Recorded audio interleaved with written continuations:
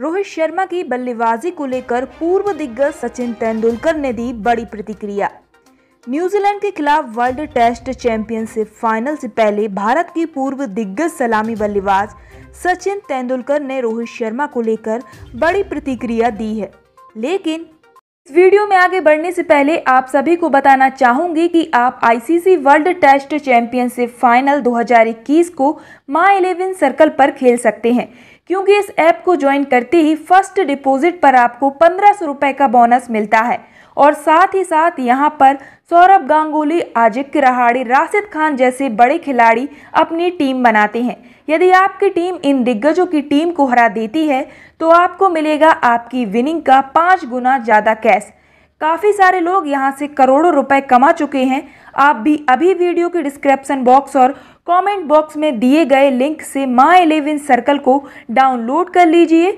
वहाँ से डाउनलोड करने पर आपको 20 परसेंट एक्स्ट्रा कैशबैक मिलने वाला है। This game involve an element of financial risk and may be addictive. Please play responsibly and at your own risk.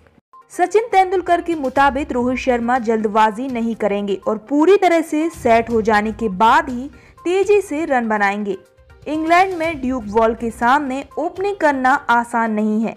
हालाँकि सचिन तेंदुलकर का मानना है कि रोहित शर्मा अपने ऊपर काबू रखेंगे और काफ़ी संभल कर बैटिंग करेंगे। एएनआई से बातचीत में तेंदुलकर ने कहा है, रोहित शर्मा एक स्मार्ट प्लेयर है और उन्हें पता है कि कब एक्सीटर पर पाँव दबानी है। वो ऐसे प्लेयर नहीं है जो पहली ही गेंद पर आक्रामक बैटिंग शुरू कर देंगे। वो पहले कंडीशन को अच्छी तरह से समझेंगे कि पिच कैसी है और कौन गेंदबाजी कर रहा है। मुझे हैरानी नहीं होगी अगर वो किसी ऐसे गेंदबाज को टारगेट करते हैं जो लय में ना हो। रोहित शर्मा पिच के हिसाब से ही अपना गेम खेलेंगे। एक बार जब आप पिच को परख लेते हैं, तब आपको पता चल जाता है कि किसे टारगेट करना है। आपको बता दें कि रोहित शर्मा को लेकर कई तरह की प्रतिक्रियाएँ आ रही हैं। किसी का मानना है कि वो इंग्लैंड में सफल हो सकते हैं तो किसी का मानना है कि उनके लिए इतना आसान नहीं होगा। रोहित शर्मा ने 2019 में हुए वर्ल्ड कप में पाँच शतक लगाए थे। ऐसे में उनका ये अनुभव काम आ सकता है। हालाँकि वो वनडे क्रिकेट था और ये टेस्ट मुकाबला होगा। इंग्लैंड में ड्यूक बॉल काफ़ी स्विंग करती है और रोहित शर्मा के लिए ये चुनौती रहेगी।